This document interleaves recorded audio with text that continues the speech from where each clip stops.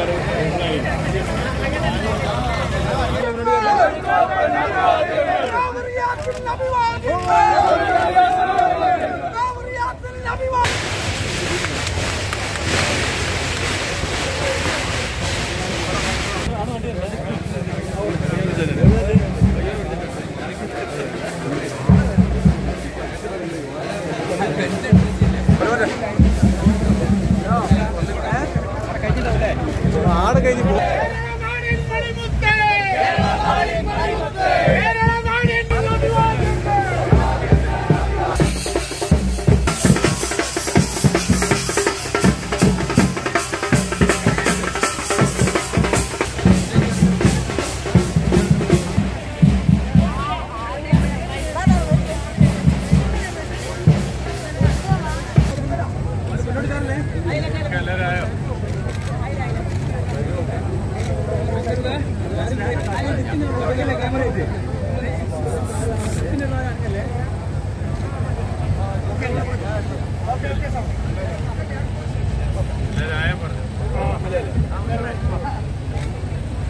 പറഞ്ഞ ആയുധ കയ്യിലുണ്ട് റെഡി പ്രശ്നങ്ങൾ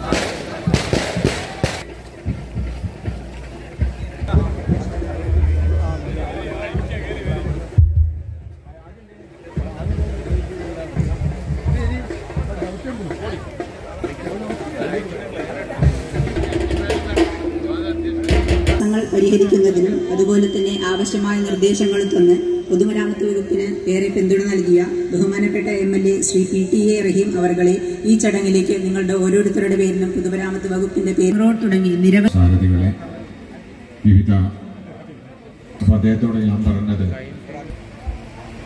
പശ്ചാത്തല വികസന മേഖലയിൽ സാധ്യമാകുന്ന നിലയിൽ എല്ലാ കാര്യങ്ങളും ചെയ്താണ് സർക്കാർ മുന്നോട്ട് പോകുന്നത്.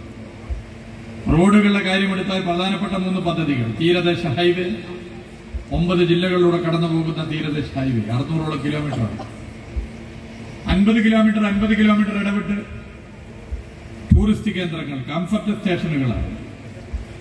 കേരളത്തിന് മുഖച്ഛായ മാറ്റുന്ന പദ്ധതിയാണ് തീരദേശ ഹൈവേ. അത് നടന്നുകൊണ്ടിരിക്കുകയാണ്.